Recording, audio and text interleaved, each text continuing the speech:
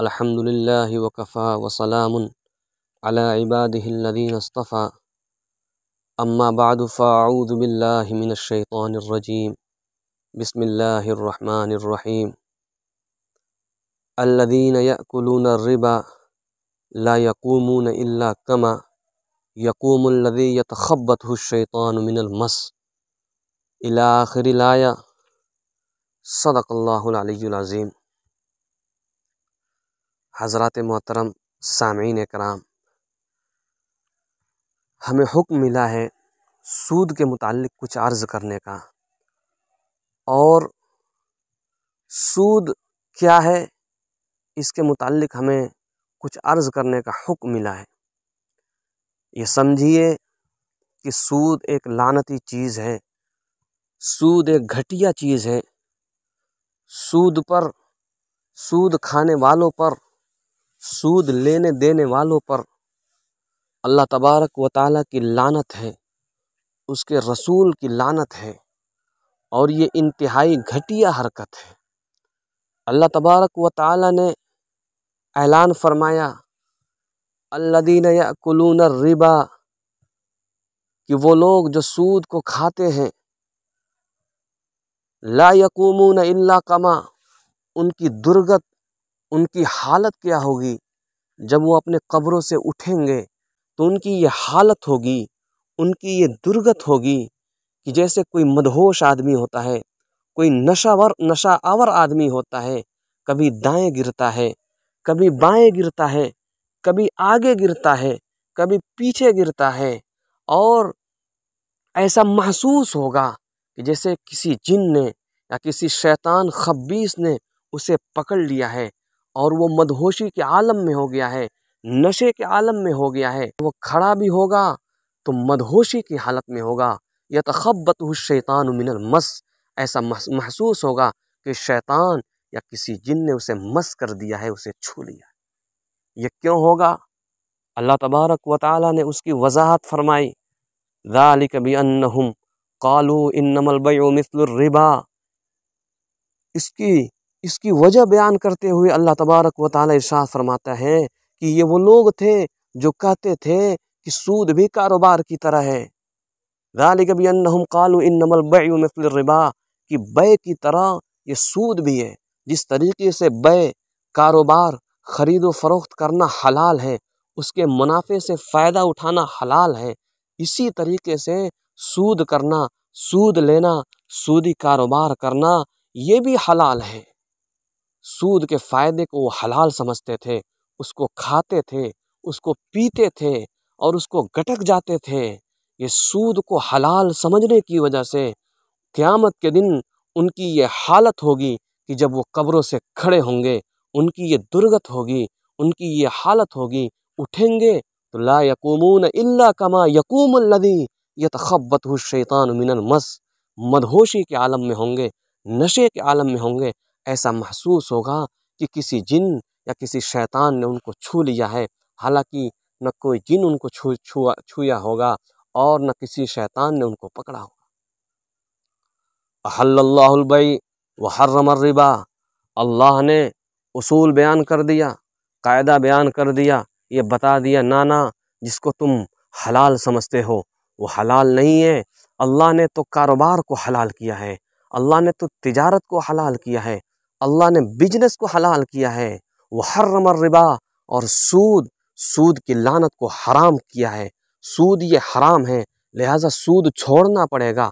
सूद छोड़ना पड़ेगा अगर तुम्हें इख्तियार करना है। हलाल कारोबार इख्तियार करो, हलाल बिज़नेस इख्तियार करो। अल्लाह तबारक व ताली तुम्हें उसके मुनाफे से फ़ायदा उठाने की तोफ़ी अता फ़रमाएगा। तुम्हारी नस्लों को भी उससे फ़ायदा उठाने की तोफ़ी अता फ़रमाएगा। आगे अल्लाह तबारक व ताली ने शाह फरमाया, फ़मन जाहू मऊज़तुम मिर रब्बी फ़न तहा फ़लहू मा सलफ़। जिसके पास आयतें पहुँची, रब का फरमान पहुँचा, रब का कुरान पहुँचा, वो तौबा कर लिया, सूद से तौबा कर लिया, सूद को छोड़ दिया। मोइज़त नसीहत जब उसको मिलती है, उसको जब बताया जाता है, सूद बेकार है, सूद लानती चीज़ है, वो छोड़ देता है। फ़न तहा बाज आ जाता है, फलहू मा सलफ़। अल्लाह तबारक व ताली, अल्लाह तबारक व ताली इरशा फरमाते हैं कि उसके, उसका, उसने जो पिछली ज़िंदगी में जो गुनाह किया है, सूद की शक्ल में, अल्लाह तबारक व ताली उसका कोई एतबार नहीं करेगा, उसके गुनाहों को बख्श देगा, उसको छोड़ देगा।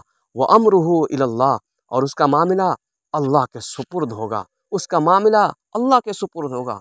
वमन आद फ़लाइकाबुन्नार जिसने तोबा कर लेने के बाद अल्लाह से माफ़ी मांग लेने के बाद भी फिर से सूदी कारोबार में आ गया उसे ये समझ में आया कि सूद में बहुत सारे मुनाफे हैं सूद में बहुत फ़ायदे हैं अगर हम सूद को छोड़ देते हैं हम सूद को छोड़ देते हैं तो हमारा बिज़नेस जो है हमारा जो कारोबार है वो लॉस में चला जा चला जाएगा लिहाजा उसने तौबा करने के बाद वमन आद फ़लासाबुन्नार फिर से वो काम शुरू कर दिया। अल्लाह तबारक व ताली ने इशात फरमाया असहाबुन्नार ये जहन्नमी लोग हैं। हम फ़िया खालिदून। उसी में हमेशा हमेश रहेंगे। ये लानत है। सूदियों पर अल्लाह की लानत है। हालाँकि जो शिर करते हैं, जो काफिर हैं, जो मुशरक है, हम फ़िया खालिदून। वो हमेशा हमेश जहन्नम में रहेंगे। लेकिन अल्लाह तबारक व ताली यहाँ सूद खाने, सूदी कारोबार करने, सूदी लेन देन करने वालों के बारे में इरशाद फरमा रहा है। हम फ़ी या खालिदून। हालाँकि उनके अंदर भी तो ईमान होता है और जिसके अंदर ईमान होगा, कभी न कभी वो जहन्नम से निकाल कर जन्नत में ज़रूर डाला जाएगा। जन्नत में अल्लाह तबारक व ताली उसे ज़रूर दाखिल करेंगे। लेकिन सूदियों के बारे में अल्लाह तबारक व ताली इरशाद फरमाता है, हम फ़िया खालिदून कि ये जहन्नमी लोग हैं और उसी में हमेशा हमेश रहेंगे।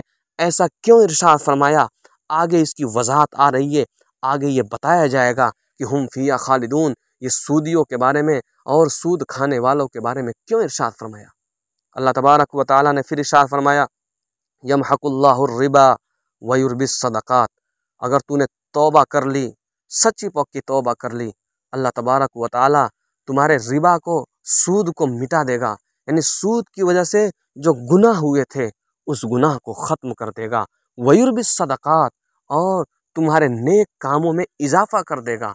यहाँ सदक़ात रिबा के मुकाबले में है, जिसका मतलब ये है कि जब तुमने सूद को छोड़कर हलाल कारोबार इख्तियार किया, हलाल बिज़नेस और हलाल तजारत इख्तियार किया, चाहे वो छोटी तिजारत हो, बड़ी तिजारत हो वयुरबी सदाक़ात, अल्लाह तबारक व उस कारोबार में इजाफ़ा फरमाएँगे। उसके अंदर बरकत अता फरमाएँगे, उसके अंदर तरक्की अता फरमाएँगे। वल्लाहिब्बुकुल्ल कफ़ार नतीम अल्लाह तबारक व ताली किसी नाशुक्रे को, सूद खाने वाले को, सूदी मामले में पढ़ने वाले को और अल्लाह तबारक व ताली की शरीयत को चैलेंज करने वाले को पसंद नहीं फरमाता है। फिर आगे अल्लाह तबारक व ताली ने इरशाद फरमाया, इन्नल्लदीन आमनु वामिलुस्सालिहात वाकामसलात वातज़क़ात लहुम अजरुहुम इंद रब्बिहिम। जब भी अल्लाह तबारक व ताली बुरों का ज़िक्र करता है, उसके साथ साथ अच्छों को ज़िक्र, अच्छों का भी ज़िक्र करता है। जब कहीं अच्छों का ज़िक्र करता है तो उसके साथ साथ बुरों का भी ज़िक्र करता है। ऊपर से सूदी कारोबार करने वाले को बयान किया और उनकी बुराइयों को बयान किया और उनकी लानतों को बयान किया, यहाँ पर वो लोग जो सूद को नहीं कर, खाते हैं, सूदी कारोबार नहीं करते हैं, बल्कि तिजारत करते हैं, बिज़नेस करते हैं अच्छे लोग हैं जो नमाज़ पढ़ते हैं, ज़क़़त अदा करते हैं। लहुम अजरहम इंद रब्बिहिम। उनका अजर अल्लाह तबारक व ताली ज़ाय नहीं करेगा, बल्कि अपना पूरा पूरा अजर अपने रब के पास पाएँगे। वला खौफ़ अलैहिम, वला हम यहज़नून। जब वो क़यामत के दिन कब्रों से खड़े होंगे, कब्रों से खड़े होंगे, वला खौफ़ुन, न उन पर खौफ होगा। वला हम यहज़नून, न वो गमगीन होंगे, वो बिल्कुल तंदुरुस्त होंगे। सीधे सीधे अपने कब्रों से खड़े हो जाएँगे। उनके ऊपर परेशानी की कोई बात नहीं होगी। परेशानी का कोई आलम नहीं होगा। परेशानी की कोई कोई उनके ऊपर मुसीबत नहीं होगी। और इसके मुकाबले में जो सूद लेने देने वाले हैं, सूदी कारोबार करने हैं, कारोबार करने वाले हैं यकूमल्लदी यतखबत शैतान मिनल जैसे इंसान गिरता है, पड़ता है शराब पीकर इधर उधर गिरता पड़ता है, उनकी हालत शराबियों जैसी होगी। ऐसा महसूस होगा कि किसी जिन या इंसान ने उनको छू लिया है। आगे अल्लाह तबारक व ताली ने इरशाद फरमाया फ़िल्म तफ़ालू फ़नु बहरब मिनल्लाहि व रसूली। इतना मना करने के बाद कि सूद हराम है, सूद की लानतें हैं। अल्लाह तबारक व ताली सूदियों पर लानत भेजता है। सूद खाने वाले, सूदी मामलात में किसी भी तरीके से मदद करने वाले, गवाह बनने वालों पर भी अल्लाह तबारक व ताली लानत भेजता है। जब इतनी सख्त वहीदें आ गई फ़िल्म तफ़ालू, इसके बावजूद भी अगर कोई बाज नहीं आता है, बाज नहीं आता है, वो ये समझता है कि नहीं नहीं, हम छोड़ देंगे अगर सूदी कारोबार को, हम घाटे में चले जाएँगे, हम नुकसान में चले जाएँगे, इतना मना करने के बावजूद भी वो नहीं छोड़ता है। फ़ादनु बिहरब मिन अल्लाह व रसूली ये कुरान के अंदर जितनी आयतें हैं, उन आयतों में से सबसे सख्त आयत है। इससे सख्त आयत अल्लाह तबारक व ताली ने नाजिल नहीं फरमाई। अल्लाह तबारक व ताली ने इशाद फरमाया फ़ैलम तफ़ालू फ़ादनु बिहरब मिन अल्लाह व रसूली मना करने के बावजूद भी, समझाने के बावजूद भी, अगर कोई सूद की लानत को नहीं छोड़ता है, उसमें पड़े रहने को अच्छा समझता है। फ़ाजनु बिहरब मिनल्लाहि व रसूली। तो ये उसने अल्लाह और उसके रसूल के ख़िलाफ़ ऐलान जंग कर दिया। ऐलान जंग कर दिया। और याद रखना अल्लाह और उसके रसूल के ख़िलाफ़ ऐलान जंग, ये मोमिन की शान नहीं है। ये किसी मुसलमान की शान नहीं है। इसीलिए तो अल्लाह तबारक व ताली ने ऊपर इशा फरमाया कि वमन आद फ़लाइकाबुन्नार कि ये लोग जहन्नमी हैं, हम फ़ी या खालिदून। वो उसी में हमेशा हमेश रहेंगे। क्यों? इसलिए कि अल्लाह और उसके रसूल के मुकाबले में जंग करने वाला ये मुसलमान नहीं हो सकता, ये मोमिन नहीं हो सकता, ये तो काफिर है। ये तो मुशरक है जिसने अल्लाह और उसके रसूल के ख़िलाफ़ ऐलान जंग कर दिया है। दूसरी बात ये कि जब कोई किसी से जंग का ऐलान करता है, किसी से झगड़े और फसाद का ऐलान करता है, याद रखना सामने वाला जो मद्दे मुकाबिल होता है, जो फरीक होता है, उससे सबसे कीमती चीज़ छीनना चाहता है। अगर हमसे कोई लड़ता है तो हमारे नज़दीक जो सबसे कीमती चीज़ है, अगर वो कीमती चीज़ इज़्ज़त है वो हमसे इज़्ज़त छीनना चाहेगा। हमारे नज़दीक सबसे कीमती चीज़ दौलत है, जागीर जायदाद है। वो सामने वाला हमसे दौलत और जागीर जायदाद को छीनने की कोशिश करेगा। जब हम अल्लाह और उसके रसूल के ख़िलाफ़ हमने ऐलान जंग कर दिया, हमारे ये सूद खाने वाले जब उन्होंने जंग का ऐलान कर दिया और अल्लाह और उसके रसूल के मुकाबले में जंग में बरसरे पैकार हो गए, मैदान में आ गए, याद रखना अल्लाह तबारक व ताली हमारे अंदर यानी सूद खाने वालों, सूदी कारोबार में पड़ने वालों के अंदर जो सबसे कीमती चीज़ होगी, उनके वजूद के अंदर जो सबसे कीमती चीज़ चीज़ होगी, वो छीनने की कोशिश करेगा। और हर मुसलमान के अंदर, हर ईमान वाले के अंदर जो सबसे कीमती चीज़ है, वो ईमान है। वो ईमान है, जब हम अल्लाह से और उसके रसूल से ऐलान जंग कर दिए हैं। अल्लाह तबारक व ताली सूद में पड़े रहने की वजह से धीरे धीरे उसकी नहूसत की वजह से उसकी लानत की वजह से हमारे सीने से ईमान सल्ब करेगा। ईमान सल्ब करेगा, एक दिन ऐसा आएगा कि हमारे सीने में ज़र्रा बराबर ईमान नहीं होगा, हमारी मौत कुफ्र पर होगी, हम काफिर होकर मरेंगे। इसीलिए अल्लाह तबारक व ताली ने इशात फरमाया, वमन आद असहाबुन्नार हम फ़िया खालिदून। ये जहन्नमी है और जहन्नमी भी आम जहन्नमी नहीं है, हम फ़िया खालिदून। ये उसमें हमेशा हमेश रहने वाले हैं। इसीलिए अल्लाह तबारक व ताली ने हम फ़िया खालिदून का ये तमगा और टेग ये लगा दिया सूदी कारोबार करने वालों पर। ये बहुत बड़ी लानत है। इस लानत की वजह से हमारे सीने से ईमान निकल जाता है। और आज हम मस्त मदहोश हैं। हम खुशी खुशी के आलम में हैं। हम ये सोचते हैं कि हम सौ रुपया देते हैं, सौ के मुकाबले में एक सौ दस लेते हैं, एक सौ बीस लेते हैं, सौ के मुकाबले में दो सौ लेते हैं, हज़ार के मुकाबले में दो हज़ार लेते हैं हम ये समझते हैं कि हम फ़ायदे में हैं, हम फ़ायदे में हैं, हमें बहुत फ़ायदा मिल रहा है। याद रखना, ये कोई फ़ायदा नहीं है, ये कोई मुनाफा नहीं है। जब अल्लाह ने लानत भेज दिया, जब हराम कर दिया, जब सूद को हराम कर दिया, हराम कर दिया, वो हराम है, उसके अंदर किसी भी एतबार से फ़ायदा नहीं हो सकता। अगर हम ज़ाहरी एतबार से थोड़ा सा फ़ायदा देखते हैं, यकीन मानिए उस फ़ायदे से भी हम, उस मुनाफे से भी हम लुत्फ़ानंदोज़ नहीं हो सकते, हम फ़ायदा नहीं उठा सकते। क्यों? इसलिए कि आप देख लीजिए, जानवरों के अंदर अल्लाह तबारक व ताली ने जिस जानवर को हलाल किया है, जिस जानवर को हराम किया है, मिसाल के तौर पर कोई कुत्ता है, कुत्ता हराम है अल्लाह तबारक व ताली के यहाँ। ये बकरियाँ जो हैं, ये हलाल है अल्लाह तबारक व ताली के यहाँ। हालाँकि बकरियों के जो बच्चे होते हैं वो ज़्यादा से ज़्यादा तीन होते हैं। तीन बच्चे बकरियाँ पैदा करती है। और कुतिया जो होती है, वो बकरियों से ज़्यादा बच्चे पैदा करती है। हालाँकि कुतियों को खाने वाला दुनिया के अंदर कोई मौजूद नहीं है। कुत्ता कुत्ता हराम है, कुत्ते को कोई खाने वाला नहीं। और बकरे खाने वाले करोड़ों नहीं, बल्कि अरबों की तादाद में मौजूद है। और रोज़ाना की बुनियाद पर लाखों बकरे कटते हैं। और ईद अजहा के मौके पर करोड़ों नहीं बल्कि खरबों बकरे कटते हैं। लेकिन आज जब आप दुनिया के अंदर ढूंढेंगे, बकरियों की रेवड़ मिल जाएगी, बकरियाँ बड़ी तादाद में नज़र आएँगी, लेकिन वो कुत्ते जिनको अल्लाह तबारक व ताली ने हराम किया था, उनको कोई खाने वाला नहीं, उनके बच्चे भी ज़्यादा हैं, ज़ाहरी एतबार से वो ज़्यादा लगते हैं।